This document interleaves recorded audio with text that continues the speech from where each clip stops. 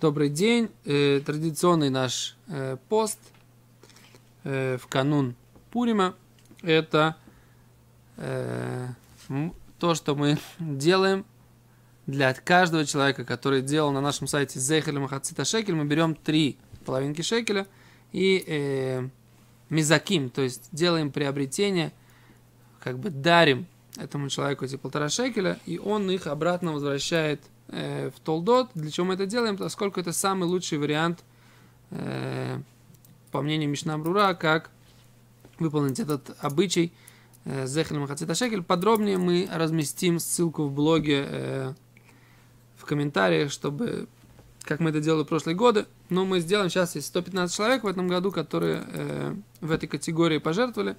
И мы сделаем без Раташем 115 вот таких вот процедур для того, чтобы сделать им вот это вот э, идеальное выполнение этого обычая. Это по, по этому вопросу. Но э, блог э, сегодняшний мы хотели посвятить нескольким актуальным вопросам, которые э, прояснились, которые появились э, в э, э, канун этого Пурима.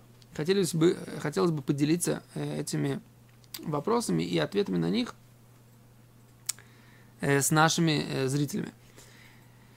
Итак, несколько актуальных вопросов. Это будет такой небольшой блиц. Э, у нас есть четыре как бы, вопроса. Один из них мы уже осветили. И вот еще три. Значит, э, три вопроса. Первый. Человек едет из Москвы э, в Иерушалаем на Пурим. Да?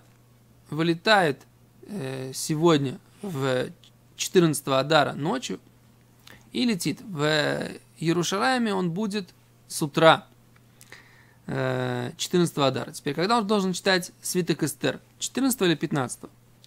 Э, критерий Аллахи, те, кто смотрели наши уроки по э, Гимаре, это находиться на момент рассвета 14 либо 15 это то, что решает, будет ли этот человек э, считаться на Пурим жителем городов без стены или городов, обнесенных стеной, соответственно, когда он будет читать э, Святок Эстер 14 или 15.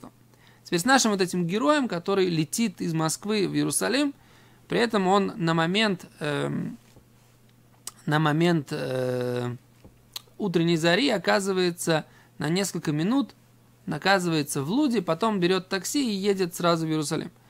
То есть считается ли он, что поскольку на этот момент он находился в Луде, там, где у нас аэропорт Бенгурион, считается ли он жителем этого места, или все его движение, так сказать, по направлению к Иерусалиму, к Иерусалиму делает его э, не э, жителем городов без стены, а делает его жителем Иерусалима, и поэтому он не должен читать во время полета свиток Эстер, и 14 с утра он не должен читать свиток Эстер, а он может совершенно спокойно ехать и читать свиток Эстер только 15 у себя дома в Иерусалиме.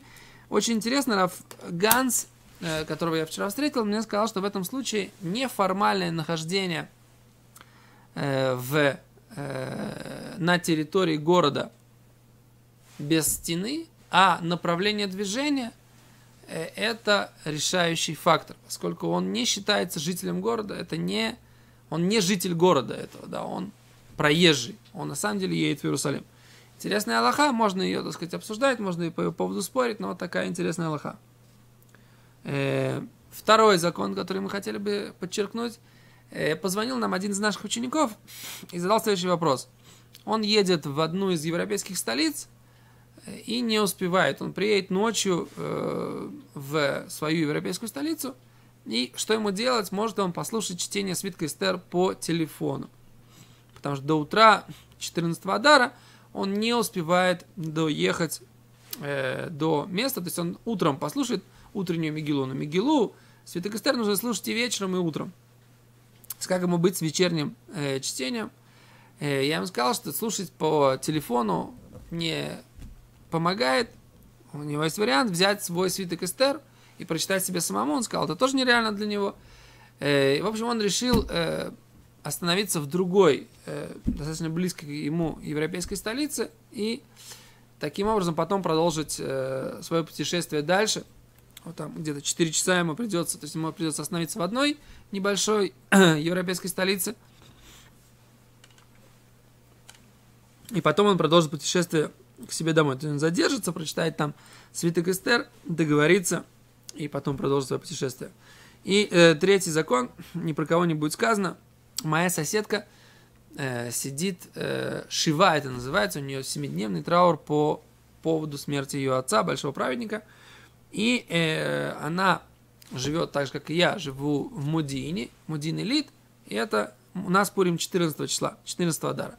Она сейчас находится в Иерусалиме, и траур у нее заканчивается в Пурим утром. Да, в Пурим 14 это седьмой день траура, они встают, и дальше, так сказать, все ограничения снимаются. Получается так, на момент 14 Адара она находится в Иерусалиме, она не должна читать э, свиток Эстер, поскольку она на момент восхода солнца или начала утренней зари 14 числа находится в Иерусалиме, да, она должна, и как бы в Иерусалиме Пурим будет 15 Но она потом едет к своим детям, э, возвращается домой на 14 Адара, она возвращается на трапезу к, к своему мужу и к детям, после того, как она заканчивает свой траур по поводу отца, по поводу смерти своего отца, э, дома у своей матери в Иерусалиме. Получается, она переезжает, она приезжает, Пурима уже нет, уже все прочитала. Она была свободна от чтения Пурима, от чтения Свитка Эстер. У нее нет Пурима, она приезжает домой, у нее нет Пурима. Да, а, а что ей будет делать 15-го? Так сказать, 15 она уже в Брахфельде, как бы там, где мы живем, там у нее нет Пурима. Получается, таким образом она как бы без Пурима остается, в принципе. Вот. Э, опять же, поговорив с Равгансом, он говорит, что есть такой высказывание Хазуниша, что человек не должен себя вывести полностью из обязанностей Пурима, поэтому для нее решением этого вопроса э, будет либо вернуться домой э, сегодня вечером, в среду вечером, чтобы она уже э, в ночь на 14 уже была у себя дома, или же наоборот, ее решением ее вопроса будет вернуться в Иерушалаем на тоже на еще на одну ночь, и тогда там э, проснуться как бы с восходом солнца или с, с, с началом утренней зари в Иерушалайме, послушать там э, как бы тогда и вечернюю, и утреннюю Мегилу. Но вечернюю Мегилу она сможет послушать даже Брахли. Если она собирается ночью ночевать в Иерусалиме, она может даже у нас дома послушать э, вечернюю Мегилу и потом продолжить свое движение в направлении Иерусалима и там послушать утреннюю Мегилу, если она собирается спать в Иерусалиме. Вот это несколько аллахот. Всем желаем Пурим Самех, как всякие законы мудрецов, законы Пурима, они очень интересные, очень э, требующие понимания. Мы постарались как бы сделать небольшой блиц. Всем счастливого Пурима. До свидания.